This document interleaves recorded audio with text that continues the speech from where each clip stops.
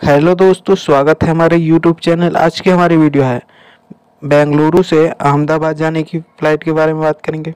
Video शुरू करने से पहले मैं आप लोगों से रिक्वेस्ट करूँगा कि अगर आपने हमारे चैनल को सब्सक्राइब नहीं किया तो सब्सक्राइब कर ले। इससे होगा ये कि आपको ट्रैवलिंग करने में बहुत आसानी होगी, क्योंकि मैं लेटेस्ट अपडेट के साथ नई नई वीडियो डालता रहता हूँ।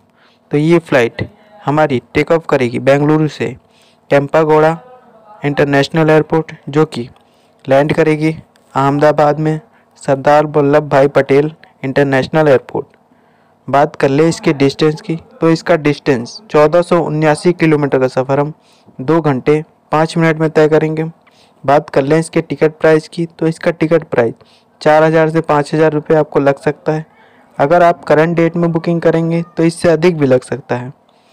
बात कर लें इसके बैग चार्जेस की तो पंद्रह के तक बैग और हैंड बैग सेवन के तक।